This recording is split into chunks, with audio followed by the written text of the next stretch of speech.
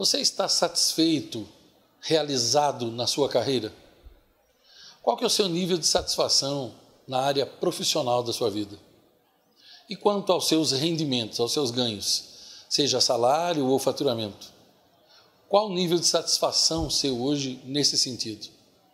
Eu sou Ivan Maia e esse é mais um Minuto de Sabedoria.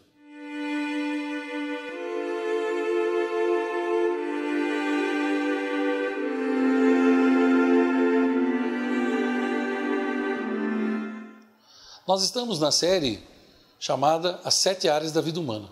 Já vimos quatro das sete áreas. Hoje eu quero falar com você sobre duas áreas extremamente importantes que estão extremamente interligadas. Podemos dizer, sem sombra de dúvida, que uma depende diretamente da outra. A quinta área da sua vida é a área profissional. Ela envolve aquilo que você faz para viver. Ou você é um profissional liberal, ou você é um pequeno empresário, ou você é um empregado de alguma empresa, ou você é um prestador de serviço, tanto faz. A área profissional, ela define quase tudo na sua vida e principalmente define a outra área da qual nós falaremos, que é a área financeira. O importante nessa vida, para que você tenha essa área equilibrada, é você seguir uma entre três dicas. Eu chamo de três caminhos para ser feliz nesse sentido. Primeiro, nós precisamos entender, você precisa entender, que é impossível uma pessoa se realizar na vida se ela não estiver realizada na área financeira. A realização de um ser humano só vem através do trabalho. Então, uma coisa importante é você saber o seguinte: ou você faz o que gosta, que é o ideal, se você puder, trabalhe naquilo que você gosta, aquilo que te dá prazer, aquilo que você ama fazer. Como disse Confúcio, Procure um trabalho que você ama fazer e você não terá que trabalhar um único dia em toda a sua vida, porque você não perceberá quando está trabalhando ou não. Se você não puder fazer o que gosta, então aprenda a gostar do que faz. É muito mais fácil isso e muito mais inteligente. Às vezes você não consegue fazer aquilo que você gosta. Às vezes demora um pouco para você conseguir fazer aquilo. Então é muito melhor aprender a gostar daquilo que você faz. É um excelente caminho para chegar na, na primeira opção. E se você não puder nem fazer o que gosta, nem gostar do que faz, então acredite naquilo que você faz. Acredite que aquilo que você faz tem importância para alguém. A maneira de você se referir a você é muito importante. Como já foi dito há muitos anos atrás, uma coisa é você dizer que você é pedreiro, a outra é dizer que você constrói catedrais ou edifícios. Uma coisa é você dizer que você é office boy, outra coisa é você dizer que você é técnico especializado em serviços externos. Uma coisa é você dizer que seu pai ou seu irmão é gari, é lixeiro.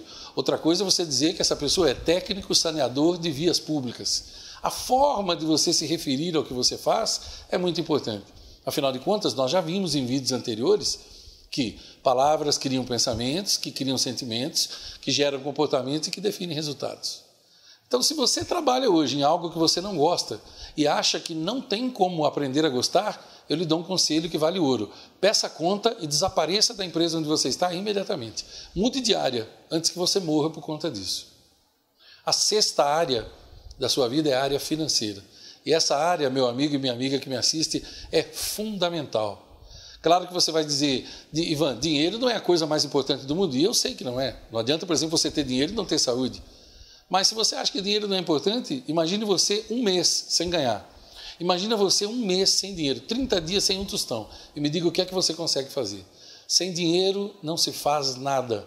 O dinheiro é uma excelente medida do seu êxito nesse mundo, não é a única, mas é uma excelente medida. Agora entenda: se você está insatisfeito com o que você ganha hoje, é importante você saber que há uma regra universal.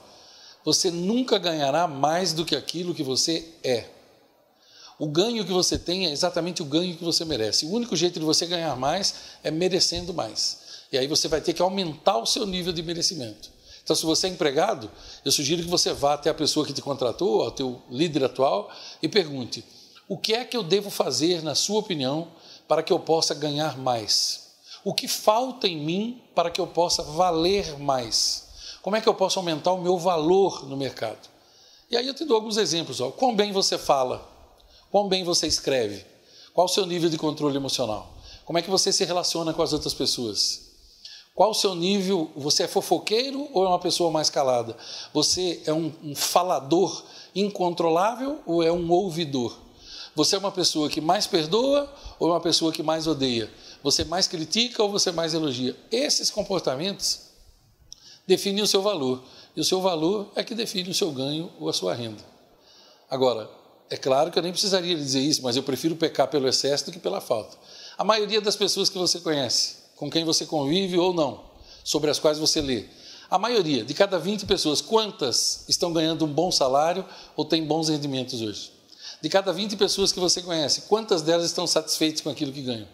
Então, você terá que se afastar da maioria, você terá que se juntar à minoria. Procure alguém que ganha o que você quer ganhar, descubra como essa pessoa é e o que ela faz. Se você repetir esse padrão de comportamento, você terá o que ela tem também. Afaste-se da multidão, saia da mesmice, rejeite toda forma de mediocridade, desligue a TV e ligue o cérebro. Pare de falar bobagens, coisas sem sentido e comece a pensar bem antes de abrir a boca. Vale a pena ser incomum.